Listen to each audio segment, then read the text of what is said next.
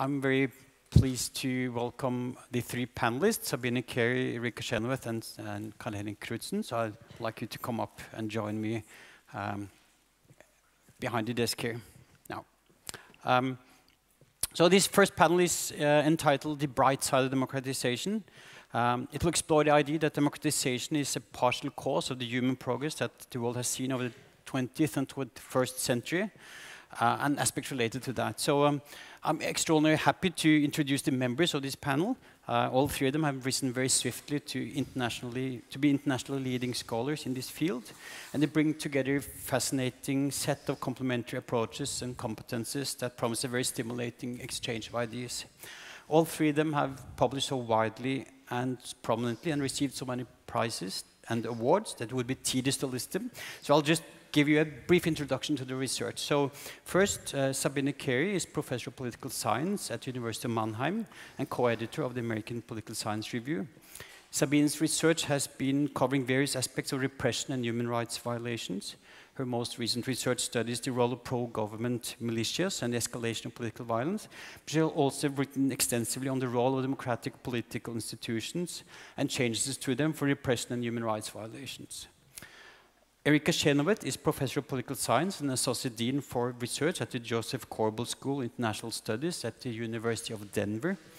Erica's research has focused on why state and non-state groups use political violence, what, is the what are the alternatives to political violence, and how can non-violent alternatives be promoted.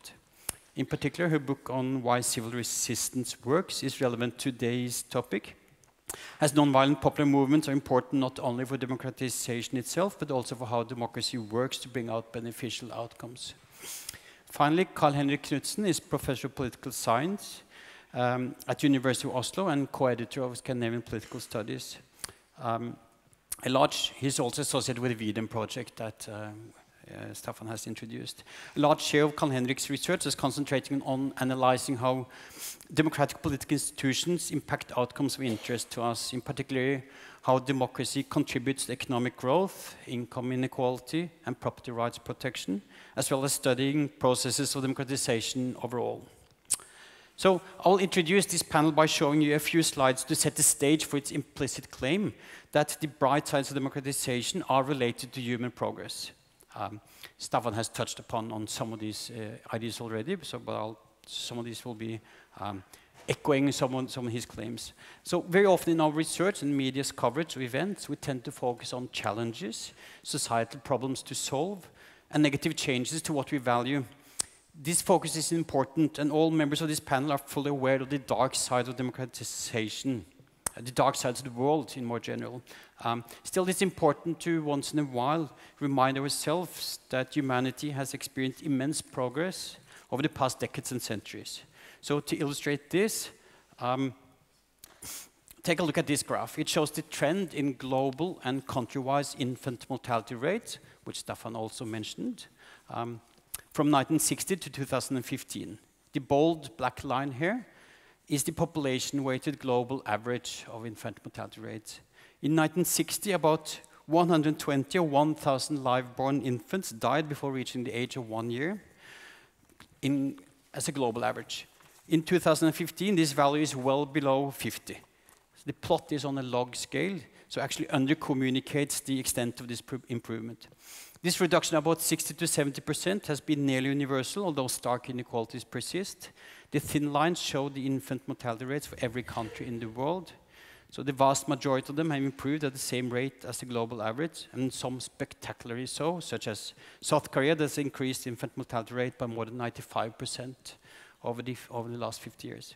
The exceptions to this pattern of improvement are relevant to our panel. The, some of the very few countries that have not improved at all are Iraq, North Korea, and Zimbabwe. The next slide shows the number of people killed in war um, of various, types from 1946 to 2016 in per capita terms. The vertical axis shows the number of people per 100,000 inhabitants globally that die from direct battle-related deaths. Wars also kill people indirectly, but these numbers follow the same trends. We also see an uneven pattern of human progress.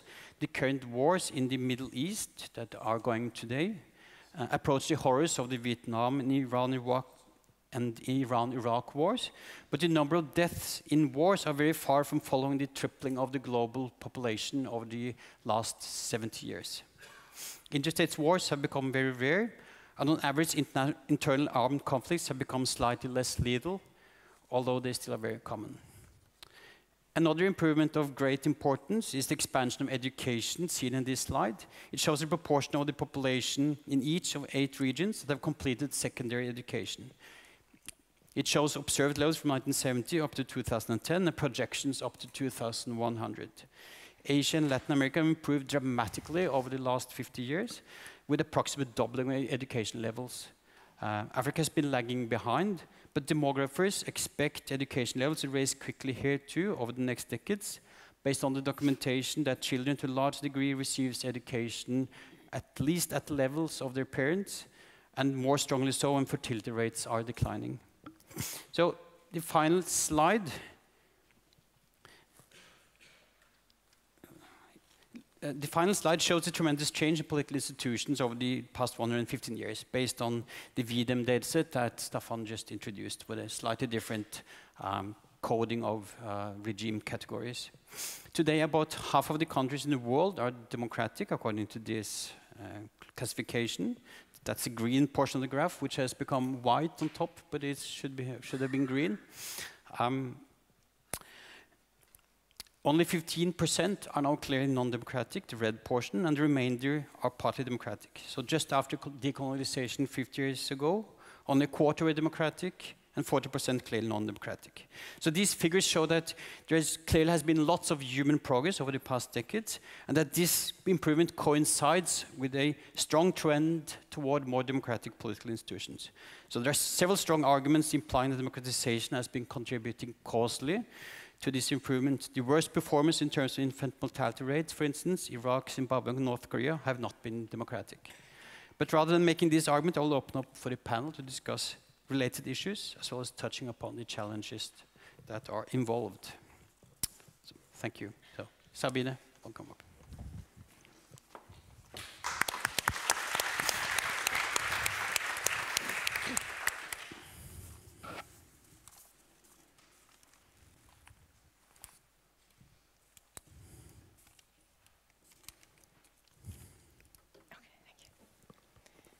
Okay, thank you very much. So I would like to focus on political institutions because political institutions uh, have a profound impact on our lives. Political institutions, they organize how political power can be used. So democratic political institutions, for example, constrain how much power the executive has, how that power can be used, and they facilitate meaningful political participation. So they limit how much power the government has and how they can use that power over their own populations. And that leads to one of the really bright sides of democracy. Because research has consistently shown that countries with fully democratic political institutions are best at protecting the right to uh, physical integrity, so the right of people to be free from being tortured, being killed, being imprisoned by their own governments. In this graph, I'm showing you the percentage of countries with good human rights records, meaning that generally respect uh, the right to physical integrity, that don't torture, don't kill, uh, by democratic institutions. You can see that right at the top end, almost all countries have good human rights record. If you go just a little bit uh, below, sort of having fully entrenched political institutions, this drops quite a bit, and it doesn't actually get much worse for the very authoritarian regimes. And there's a somewhat similar pattern for another type of human right. In this graph, I'm showing the percentage of countries uh, with free media again by the degree of how much political participation a country has and how constrained the executive is. So if you don't have these types of features of political uh, democratic institutions, you don't have free media. Even some of these countries, uh, like Oman or Qatar, respect human, other basic human rights. But at the top end, almost all of them um, have free media. Now, free media is essential really to the democratic process, so much so that many would say, and as we have seen in V-Dem, is that if you don't have a whole range of civil liberties or press freedom, you don't actually qualify as a democracy. But pulling it apart, it's quite interesting and lets us identify how different types of how different elements of democracy affect um, how common repression is, for example. In a recent study, we have found that in countries that have just emerged from a civil war, if they have free media, they are much better at protecting basic human rights, even above and beyond democratic institutions. So free media is actually quite effective in protecting people from repression in otherwise quite repressive, volatile, and instable, unstable um, conditions. But this graph also shows that just having somewhat democratic political institutions isn't good enough, right? That it's not sufficient in protecting people from the power of the government. In fact, if you only focus on elections, for example, leaders could be incentivized, or politicians, to do almost anything uh, to get votes, which might have negative consequences for society as a whole, for example, by scaremongering or pushing populist agendas, right? Um, this leads me over to uh, what I'd like to mention in my last slide. In a recent study, we've tried to understand why and under what conditions journalists are murdered. Because again, journalists play a crucial role for the whole democratic process to work. And we found that the more democratic some institutions are, the more likely it is that journalists get killed. So the more important popular participation is, the more also local politicians worry about their image, the riskier it gets for journalists. But that relationship crucially depends on the wider context of how democratic this country is. So in this graph, I'm showing the probability of a journalist being killed uh, by degree of electoral democracy at the bottom, but for two different scenarios. One, the bluish one, where judges are held accountable for their wrongdoings, and the light one, where judges are generally not held accountable for their wrongdoings.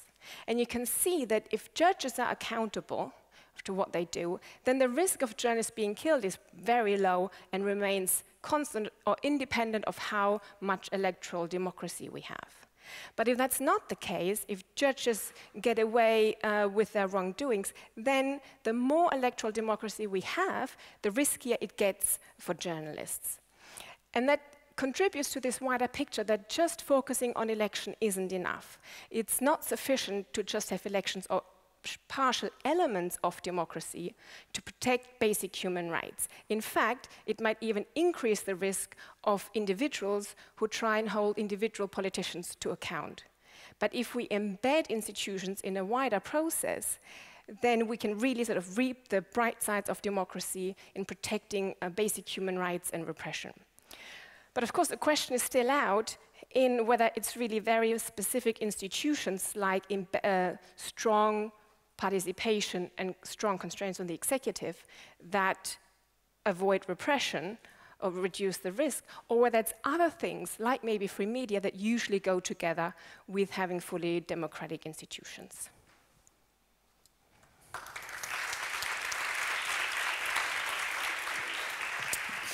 Thanks, Sabine, and welcome, Erica.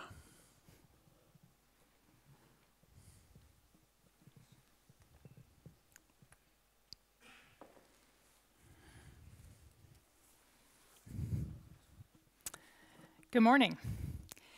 I'd like to focus on the question of how people wield power and generate democratic breakthroughs or protect democracy when their political institutions actively exclude them or don't allow them to legally participate in the system. So I want to talk about dissent, and I want to compare two different models of dissent, or bottom-up politics, one being nonviolent resistance and the other being violent resistance. So nonviolent resistance or civil resistance is when unarmed people actively confront an oppressive system or oppressive authorities using a variety of different coordinated methods that don't inflict physical or direct harm on their opponents. So these might be a coordinated sequence of methods like protests, strikes, boycotts, um, and many hundreds of other forms of economic, political, and social non cooperation. And they do this in kind of a sequenced way to where they're increasingly uh, mounting disruption against the system and dislocating their opponent from its different sources of power. So, violent resistance, of course, is when people do inflict uh, direct physical harm on their opponents in order to sort of wear down their capacity uh, to withstand the challenge. There are, of course, mixed methods of resistance, but I want to focus for today on these two ideal types, which provide us with a number of different stark comparisons. The first thing I'd like to mention in reference to today's topic is that nonviolent resistance has become an increasingly dominant form of dissent, especially since about the 1970s. This chart actually shows um, new onsets of mass nonviolent and violent campaigns that are seeking maximalist goals, meaning they're actively trying to overthrow an incumbent national leader through irregular means, or they are trying to create territorial independence, either through secession self determination, the expulsion of a foreign military occupation, or uh, the expulsion of a colonial power. Um, so, this chart, in the case of uh, nonviolent resistance, shows cases as diverse as Georgia's Rose Revolution, the recent uprising in Burkina Faso, Romania, East Timor, West Papua, Poland, the Philippines, South Korea, Tunisia, Guatemala, Zambia, Mongolia, South Africa, and many other cases. Um, basically, uh, one of the things that's incredibly striking is the overall substitution of nonviolent resistance as the primary method of change in the past 40 or 50 years. And then another really interesting trend is that the campaigns that rely primarily on nonviolent resistance tend to succeed twice as often as their violent counterparts. Now, uh, this is really important for a number of reasons related to today's theme. My colleague Sabina Carey has actually found that when she's evaluated protest and coercion uh, events data, that nonviolent resistance is less likely to evoke um, the worst forms of lethal oppression or repression directly against the protesters than violent dissent. Um, but in recent research with my colleague uh, Evan Perkoski, we found even that, um, that mass killings, where um, regimes actually crack down um, and kill at least a thousand unarmed people in episodes of one sided violence um, are much more common uh, when civil wars or armed insurrections are underway. They're incredibly uncommon against mass nonviolent campaigns, even in highly similar contexts. And I'll discuss a couple of reasons for that in a moment. The second reason it's important is that nonviolent resistance is highly correlated with the eventual emergence of democratic regimes. Um, this slide actually shows a comparison of what happens in different countries five years after one of these major campaigns has ended and whether a country is likely to have broken through in the polity data set to be counted as an advanced democracy, that is a plus seven or higher on the polity scale. Um, so, of course, the, the ill-fated polity data set at this point is what we relied on for this study, but um, others have used V-Dem to replicate these results and found that they're quite consistent. But basically what this slide shows, and what's very striking, is that countries that have experienced a mass nonviolent uprising are some 10 times more likely to emerge as democracies within the next five years. And this is true even when those nonviolent campaigns fail, meaning that often mass disruption creates political opportunities or fissures within the ruling elites that then over time start to manifest through these pacted transitions that Professor Della Porta was mentioning earlier. Another important outcome that's related to these data is that um, nonviolent campaigns are more likely to generate stable outcomes. So the Egyptian uprisings of 2011 and 2013 are in many ways the epitome of, um, of what people think of when they think of mass uprisings today. But in fact, that case is somewhat exceptional. Um, in general, uh, campaigns, uh, countries that have faced nonviolent mass campaigns are about 15% less likely to relapse into civil conflict within a decade afterward. So um, I mentioned I would return to this question of why these nonviolent campaigns are so more likely to succeed and are also um, uh, less correlated with mass atrocities, authoritarianism, uh, and civil conflict. And um, it's related in a way to the things that these mass nonviolent campaigns tend to do well that make them succeed in the first place. The first thing they do well is they, uh, and that makes them win, is that they can build and sustain large and diverse participation. So if a campaign is um, openly nonviolent or has expressed a commitment to nonviolent resistance, it tends to elicit the participation of men, women, children, elderly, people with disabilities, and others um, that may be marginalized in the society. And the ability to create those cross-cutting coalitions then activates a number of different political opportunities for these movements that wouldn't exist if it was very homogenous.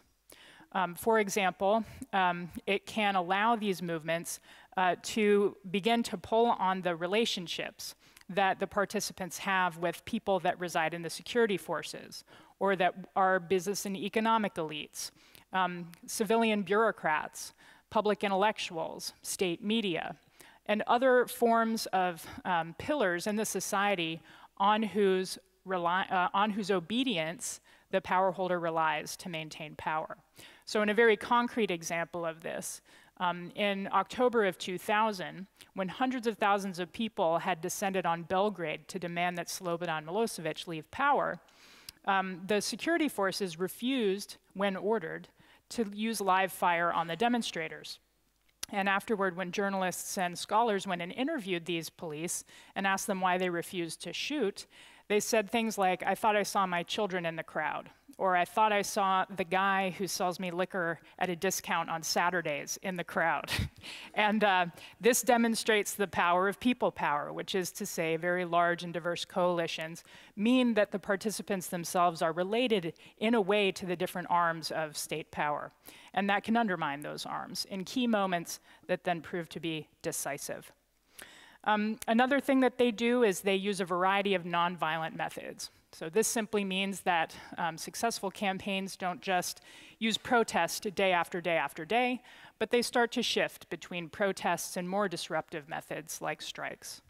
Finally, um, they tend to maintain discipline, even when repression begins to escalate. Movements that are able to stick to their own plan and maneuver around repression are much more likely to remain resilient in the face of it. So with that, uh, I'll simply mention that um, the, the data that we now have access to on uh, the remarkable record of nonviolent resistance, I think is an important and often underappreciated part of the democratization story over the last century. Thank you.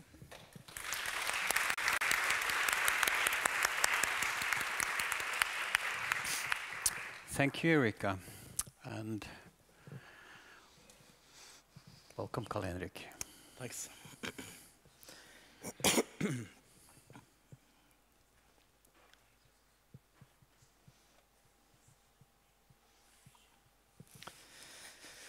Thank you.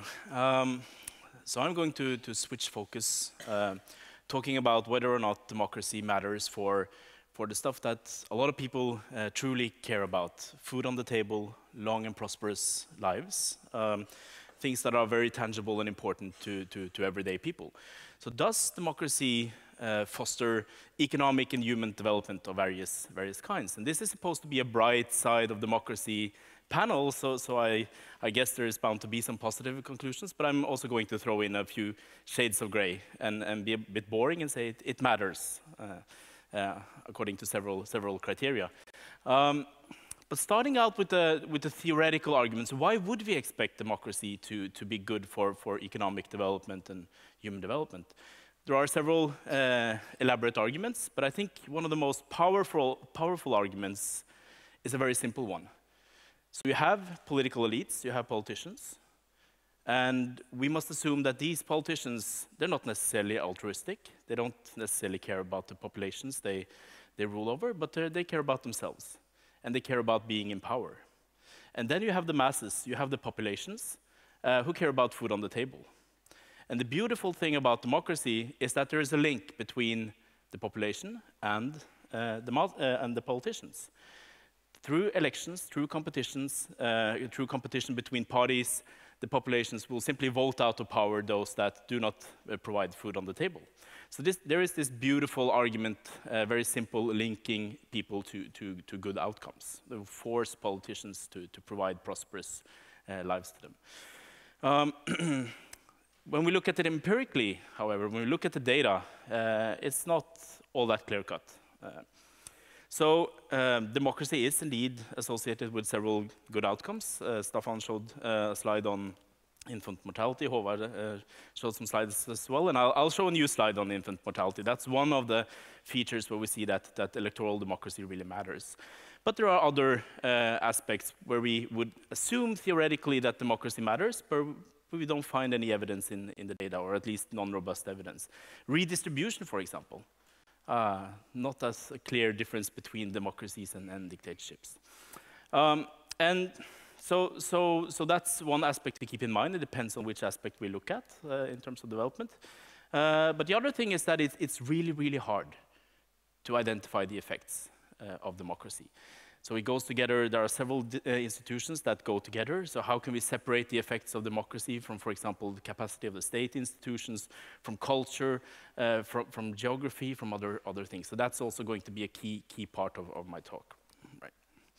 So I'm going to focus on, uh, it's difficult to, to identify clear effects of democracy, but I'm going to talk about three, three general points uh, uh, that I think we can uh, take with us from, from this literature, and I'm going to illustrate with some of, some of my own research findings.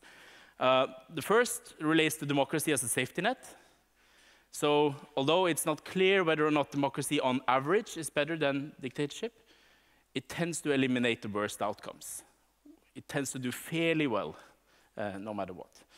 Uh, the second point relates to, to this, this notion that I've already been, been talking about. It depends on which particular outcome we look at. And the third uh, goes back to, to Staffan's presentation on V-Dem. I'm going to show you some V-Dem data as well.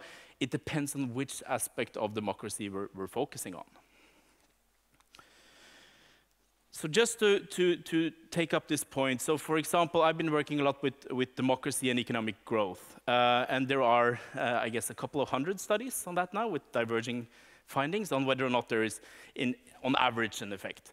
But what is very clear from, from that literature, uh, if you look at the studies that look at the variation uh, within regimes, is that uh, some democracies do better than others, uh, so some democracies don't work as we would expect, but when you look at the dictatorships, the variation is enormous. Um, so uh, just to illustrate, so this is uh, the, the, skyline of Singapore. Um, so Singapore, uh, uh, perhaps the best example of an authoritarian regime that developed very rapidly economically, even giving rise to the so-called Lee thesis that you need a strong dictatorship to to, to get economic development after the old uh, leader, Lee Kuan Yew. Uh, so this is just to illustrate uh, beautiful skyscrapers in Singapore. Another country that has not been as fortunate uh, under autocracy with, uh, with its economic development is, is current-day Democratic Republic of Congo, uh, former Zaire. And here you have two of the leaders of that country during colonial rule and, and, and post-liberation. Uh, Leopold and, and Mobutu. Um, I'm not going to go into the story uh, of, of, Congo, but it's very, very different from the, from the uh, development of Singapore, to, to say the least. Second point, devil is in the details in regards to outcomes. So here is, and this is a, another V-Dem paper on, on infant mortality, finding many of the same uh, results that Staffan uh, talked about. Electoral democracy matters for reducing uh, infant mortality rates. And one important aspect here in terms of, of the devil is in the details is, is thinking about the time dimension. So here we're looking at the history of electoral democracy. And, and one key takeaway from the literature is that it takes some time before the positive effects of democratization manifest itself.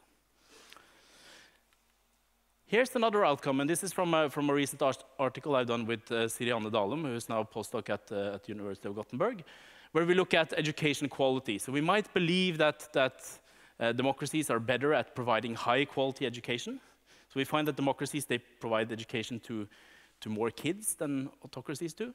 But when we look at how their students actually perform, what they learn in school, there's not much of a difference. So this is the shade of gray in the, in the bright side panel.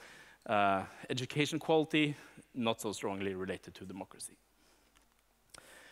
Third and finally, and, and, we've already seen a lot of slides on, on V-Dem. This is uh, just another one. I just wanted to bring this up. This is uh, Brazil separating between free and fair elections and freedom of discussion uh, for men in, in blue.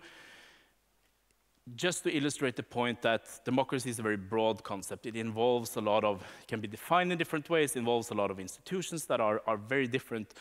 And it's, it's very plausible to assume that these institutions have very different effects on economic outcomes. Um, so this is just to, to illustrate the importance of, of disentangling. And I'll mention, um, just a, as a back, background slide, one example from recent research. Uh, Sven-Erik Skaaning from, from Aarhus University, one of my co-authors on, on, this paper is here, and it's also co-authored with John Gerring um, at the University of Texas, Austin.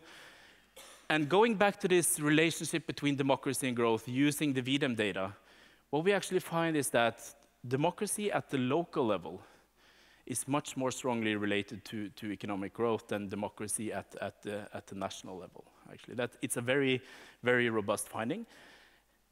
And thinking about the policies that, that actually drive growth in terms of service provision, education, a lot of the action actually happens at the local level. So being able to discipline your, your local politicians to, to dig wells, uh, to provide high quality education, that really seems to matter for, for overall growth. And then uh, finally, um, this is the Bastille in 1789. Um, of course, you saw the, saw the graph on, on how um, freedom of, of uh, discussion and free and fair elections in Brazil, they tend to move together. This also means that it's hard to separate effects uh, from various democratic institutions. Oh, sorry. Um, so one solution to that is trying to move backwards in time to get as much uh, variation over time as possible, to use all the rich variation from, from modern history. And together with, with Jan Theorell, who is going to be in the next panel, uh, I'm heading a project that extends a lot of the uh, V-Dem indicators uh, back in time to 1789, uh, so here we have this data set is not released yet, but here is just a, a quick glimpse into the, the polyarchy, the electoral democracy measure going back to 1789 for a set of countries from this data set. And I think this will be uh, of key importance to us when we, going forward, try to disentangle the effects of various institutions on things such as economic growth, infant mortality, uh, education, etc. So thank you.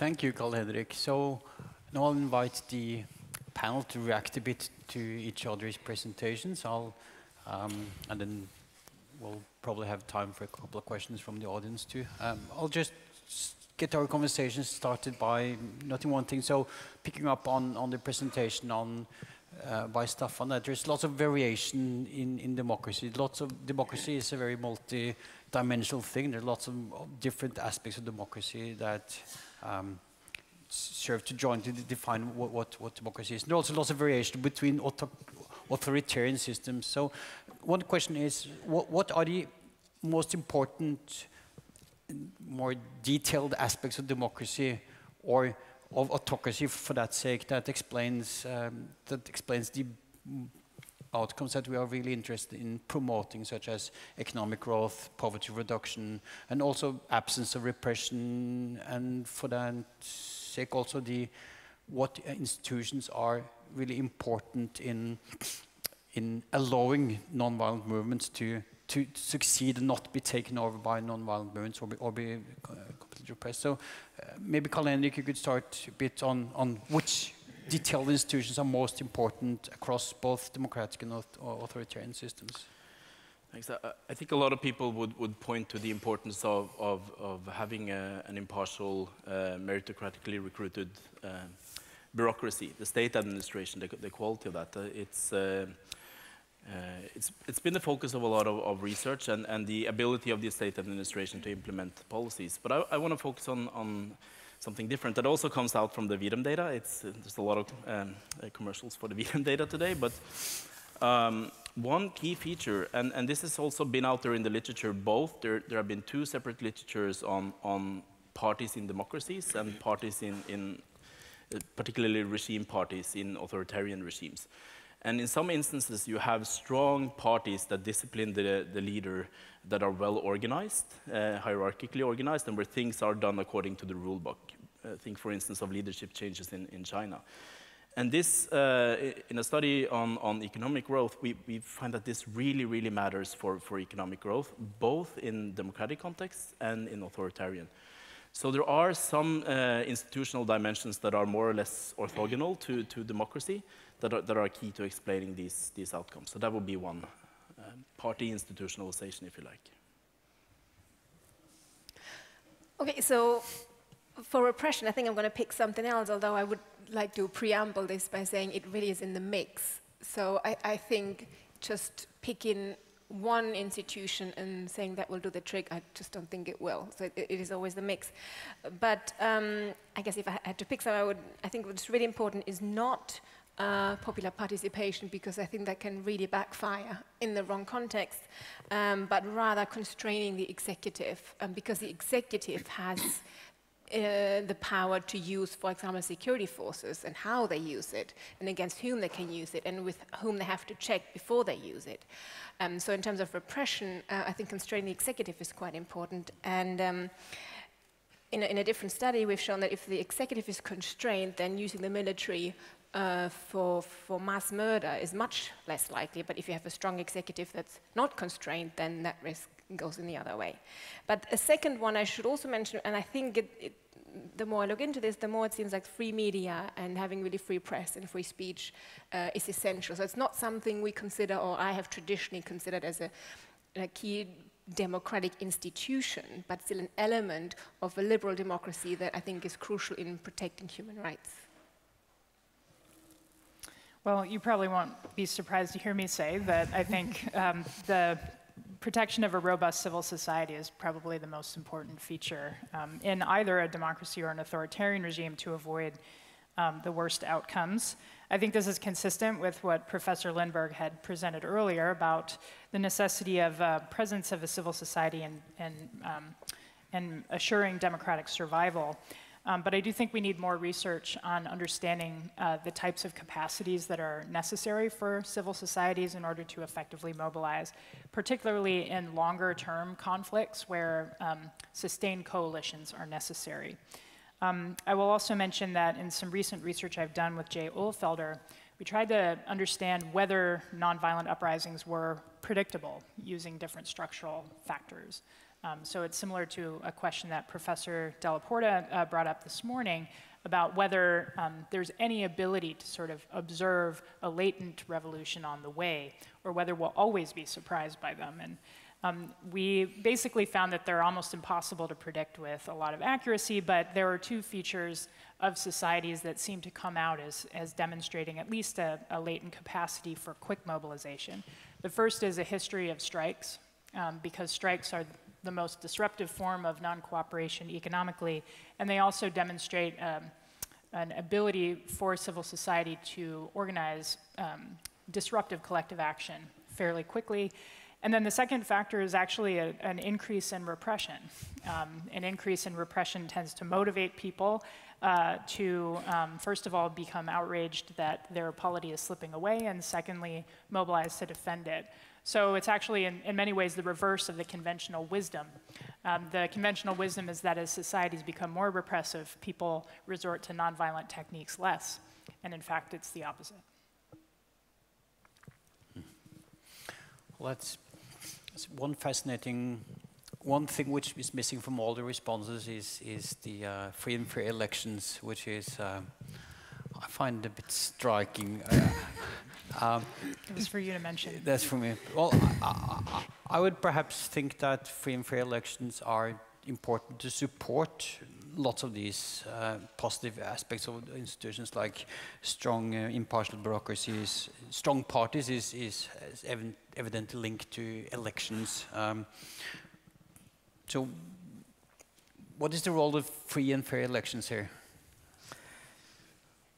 So, so, sorry for having under-communicated that, because uh, I think for, for many of the outcomes, uh, and, and again, I, I, think a lot of good things have been said about the importance of, of packages of institutions and, and, things mattering in the presence of, of other things, such as checks on the executive, etc.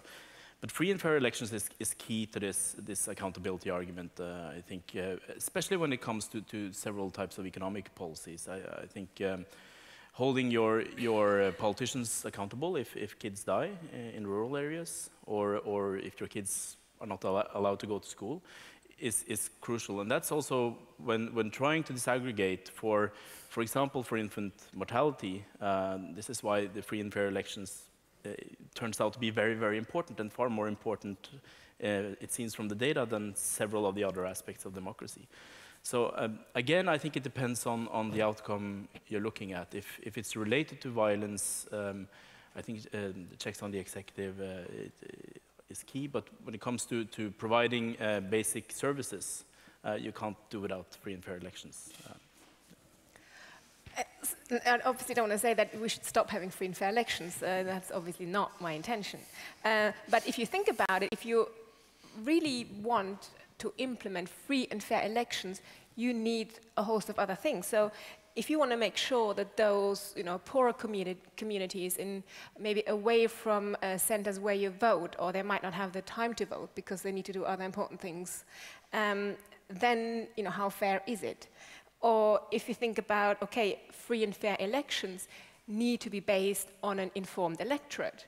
So how can the electorate be informed? Well, inf well you need a, a, flourishing uh, media, a balanced media ideally, or diverse media. Otherwise, you know, how free and fair are the elections? So it, it kind of depends on what you see, what you need in addition to having free and fair elections, where you just have the ability to go and make a tick in the box and that one counts. So picking up on free and and active media, what, what's the importance of, of um, new information technology, social media, and uh, so forth? That's, that's an alternative media channel to the standard uh, journalists, and maybe some of the social media mm, channels are less sensitive to repression and to the to the dangers that journalists um, are faced with in, in, when faced with a repressive government. So, Erica. Well, I mean, uh, I think social media, uh, digital technology is a double-edged sword, certainly for the types of movements I study. On the one hand, I think that there was a coordination and communication advantage when these technologies were emerging. Um, at this point, I think basically governments have figured out how to use them to their advantage more so. So I think actually online organizing, per particularly in sort of semi-authoritarian or authoritarian contexts, is much more um, uh, it exposes people to much greater risk, actually, um, of surveillance and detection. Um, and I also think that in, in a lot of democracies, it can uh, tend to demobilize the most disruptive forms of contention um, because they, um, people feel like by sitting in their house, clicking on something, they've, con they've conducted an active um, resistance. Um, that said, uh, there is research out there conducted by the Carnegie Endowment and other or funded by the Carnegie Endowment and other uh, organizations that shows that um, certainly the number of protest events, for example, has increased um, when people are using Twitter and, and, other forms of social media to uh, communicate about them. Um, to me, the, the downside of that is simply that it might routinize or make more common um, the use of protests, as opposed to these other forms of more disruptive activity. So um, I think that you know the, the, the internet has certainly um, created some opportunities, but it's, it's more of a, a, characteristic of our time than a cause of, of different types of protest and, and contentious activity. Um, so that's what I would say about it. Well, I think in terms of repression, mm, social media has a great potential in the sense that it's an additional uh, source of information independent of what governments are reporting or that sort of traditional journalists are able to reach. So you get uh, access to a whole lot more of information with pictures and everything else. So that's uh, certainly, I think, a good thing. But uh, it also has some dangers. So the one is that Erica already mentioned. um, Anita Gohdes wrote uh, her PhD on how the government extremely effectively uses uh, the internet to repress better.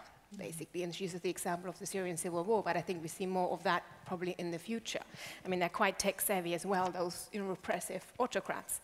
But the other, um, uh, let's say, challenge is that with the growth in social media, it contributes to a disintegration of the media market or a disintegration of the sources of information.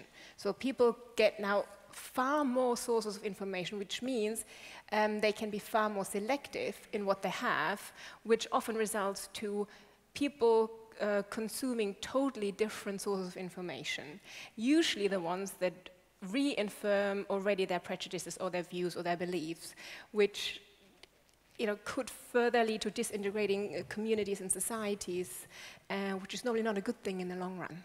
So. Are there any questions from the audience? We could, so, Bo Rothstein.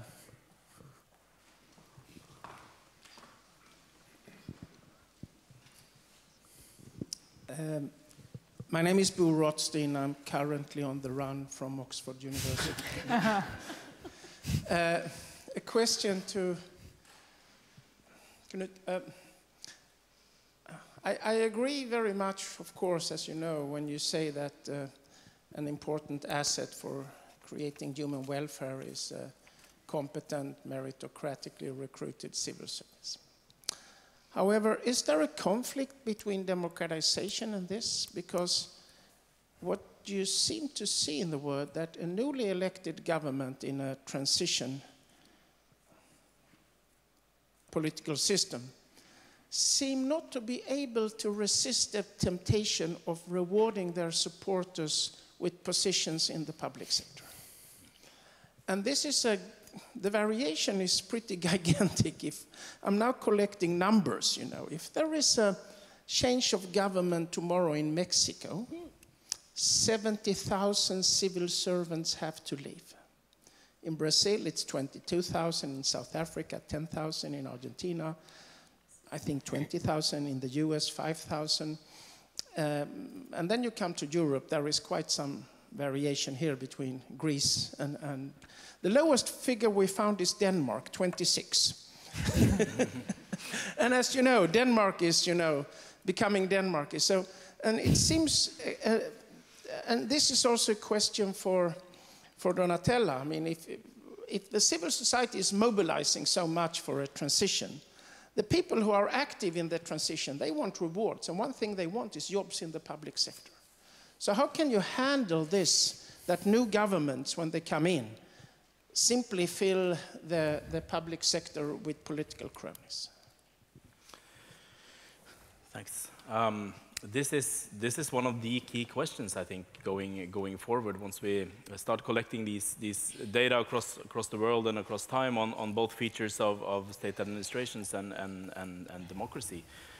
I think no, there's there's not an inherent uh, contradiction here, um, and I think um, the relationship is very complex. It's hard to disentangle. Uh, there are good reasons to think that gradually over time, as you have uh, at least a well-functioning democracy, may, that may help in building uh, a better state administration. And there are certainly al also um, theories suggesting that if you have um, uh, state administrations with, with certain characteristics, democracies will be more stable. In addition, these may interact, right? So, so does it matter whether you have both at the same time or only one? So, so it's, it's a complex question. Um, but I think the tendency to staff, uh, staff the civil service with, uh, or uh, administration with, with your own supporters is also something you observe uh, when regime changes occur going in the other direction, when you have uh, changes between, between autocratic uh, regimes. Now, there are certain autocracies that, that are able to, to stick to meritocratic ways of recruitment, having fairly stable careers. others, others do not. And so, so I think um, I'll, I'll, I'll, I'll, I will not provide any, any clear answers uh, to, to Bo, I'm sorry, but, but I, I think disentangling these relationships, I think it, it's super, super interesting. Uh, and I hope to, that uh, several of us can, can work with that going forward.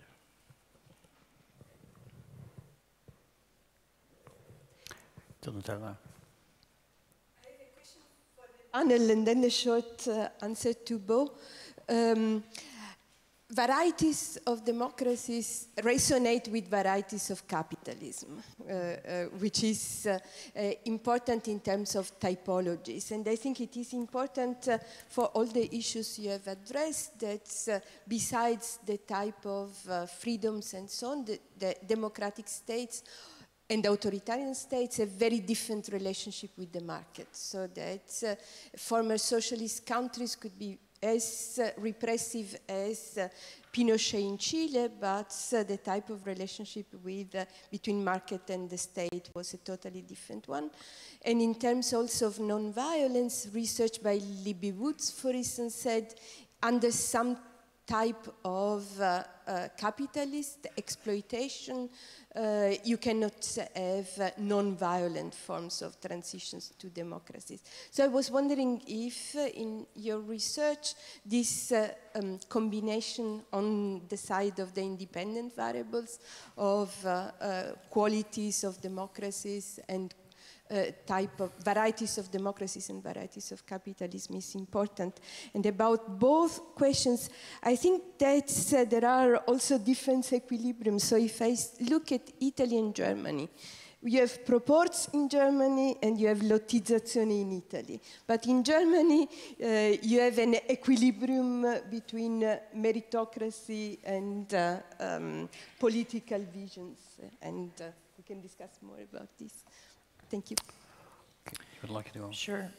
so it's a great point. Um, and uh, to my knowledge, nobody has yet um, done a study to try to understand the impacts of different forms of capitalism on the, the um, onset of nonviolent or violent resistance using the data that we now have. Um, I think that uh, that actually sounds like a really interesting and promising project, but one of the things that um, Jay Ulfelder and I did was we looked at um, different kinds of economic outputs and economic performance that would be, you know, roughly um, equivalent to different capitalist outcomes. So uh, GDP per capita, economic output, um, infant mortality uh, relative to the global mean, economic shocks, unemployment rates, um, integration into the liberal uh, international um, economy, and so forth. And we found that um, none of those factors significantly predicted the onset of, of nonviolent versus violent resistance um, or the success of them. So, in that sense, um, I'm a little dubious that that claim holds over a long period of time and over all the cases that we evaluated, but it's certainly a hypothesis available for further testing.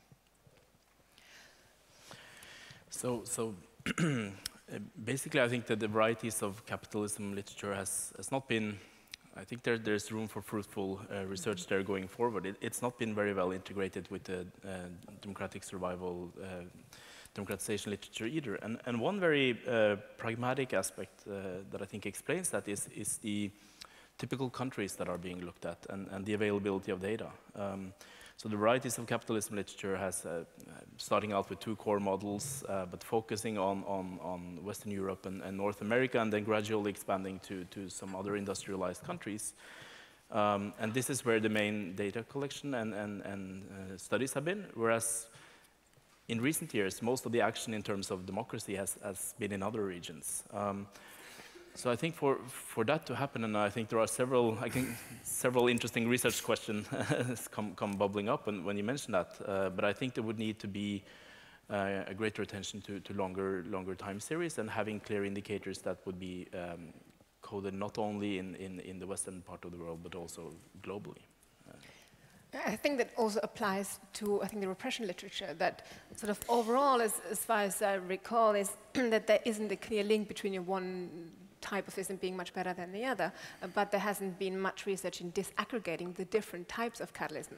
Uh, capitalism. And my hunch would be that uh, what might matter is less how capitalist or communist or whatever you are, but rather like how the, the economic system you have uh, how that empowers different elements in society to participate in the political process.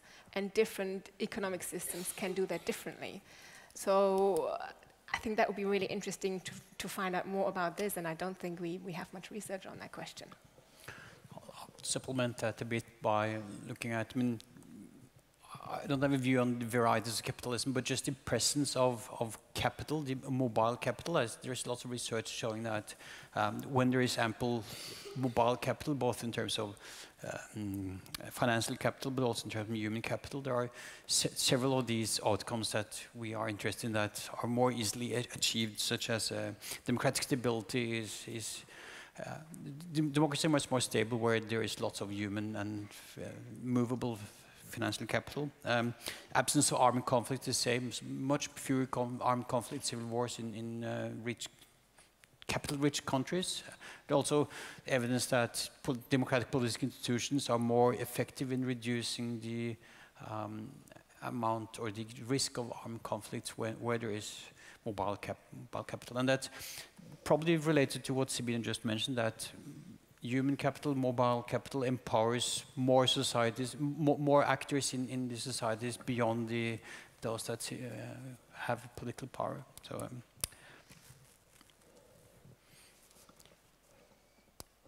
do you have any other questions for the panel and you?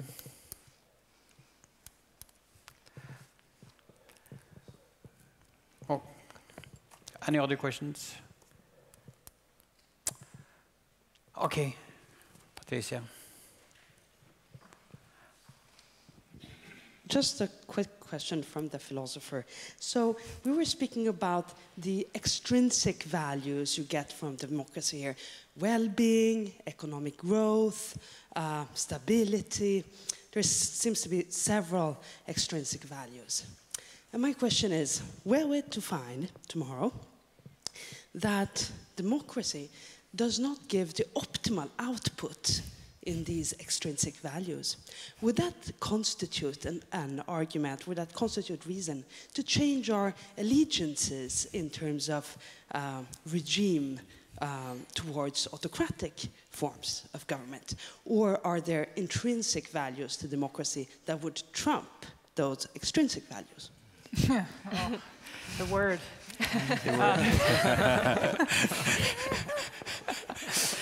um, well, if I may uh, sure. just speak to that, when you were asking the question, it reminded me of Bob Putnam's work um, and just looking at you know, what he argues is making democracy work, but really what is created or prefigured through social capital, or in, in his sense, kind of a positive social capital. And he brings up concepts like trust, reciprocity, um, community engagement, a sense of personal efficacy, a sense of um, the ability to, to alter the course of one's own existence, and that these would be sort of the intrinsic values that not democracy per se, but the, the um, experience of creating democracy through social capital and political engagement creates for people. Um, so, I mean, there, there are manifestations of that certainly in non-democratic regimes, but um, I think uh, generally speaking, those would be the values that people are attracted to about um, the ability to freely assemble and gather and talk politics in democracies. So that's uh, that's the tough tough question, and and and the answer often in um, in public would be that I, I don't want to touch touch the question. I think most most democracy researchers after a couple of beers in the, in the evening would say we, we would still want to hold on to to the democracy. I guess that's um, there are intrinsic values to, to democracy, but, but still there, there are uh, legitimate empirical questions on, uh, on, on, these relationships. Now that feeds into the debate because if democracy tends to go into, um, into other, uh, or produce other good outcomes, then there's not much of a debate, I think, from a normative uh, standpoint. If there are trade-offs, then there will be a debate. And people with, with different uh, inclinations, uh, utilitarians may, for example, answer the question in, in, in, one way. They would maybe prioritize food on the table. Uh, but, but then there is at least a debate. But then we have a clear, clear view of what the, what the facts are that, on which that debate can be, can be conducted. Yeah. Um, I think uh, the answer to your question is well, my answer was sort of some sort of standard, somewhat boring social science answer in the sense that it really depends on what you actually mean. Because it very much depends on what we mean by democracy, right? Because a lot of the things that you say might be intrinsic values, you could say are actually outputs uh, of having some certain sets of institutional features like uh, free speech, uh, freedom of religion, and, and, these sorts of things, uh, which, you know, again, the, the, freedom of media could be intrinsic, but it could also be a result. Um, but nevertheless, I think it's interesting what you mentioned, that there could be trade-offs, right? And I think that is always something that might depend on the context, especially if you're, for example, in transition period, right? How do you deal with uh, former perpetrators of violence, for example? There might be certain trade-offs that you might be willing to accept a certain um, lack of accountability, let's say, or uh, you might accept more power of the military than you might ideally want in order to have a stable and safe system uh, where you have less repression and you have uh, free and fair and, and, meaningful elections. So there could always be trade-off, especially during transitory periods. Okay, thanks. So since um, this is the bright side of democratization panel, I'll just also respond to this just by reminding you that I, I interpret the panel to thinking that lots of extrinsic values of democracy, that they, democracy avoid the worst outcomes, at least at the very minimum, and there's lots of other uh, positive values of dem democratization. So um, with that, I think I'll um, close this panel and um, we'll do an old lunch and we are supposed to reconvene at 13.30 for the second panel on the dark sides of democratization. So we'll get back to these issues.